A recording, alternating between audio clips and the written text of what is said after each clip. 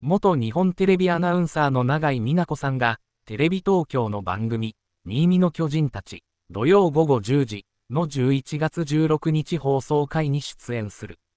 同日の放送では、一見するとゴミにしか見えないようなアートを手掛けた現代美術家の三島公代さんの手法などに迫る。写真特集、永井美奈子、シースルーの光沢あるワンピ姿で、新見の巨人たち、出演。三島さんは今年6月に亡くなったが、91歳まで現役で、小さな体で巨大な作品を作り続けた何話のおばあちゃん。くしゃくしゃに丸められた新聞紙や、ゴミかごいっぱいの空き缶の山など、一見しただけではゴミにしか見えないのだが、よく見ると焼き物のアートを作った。創作を追い、アートの島に残された究極のゴミが明かされる。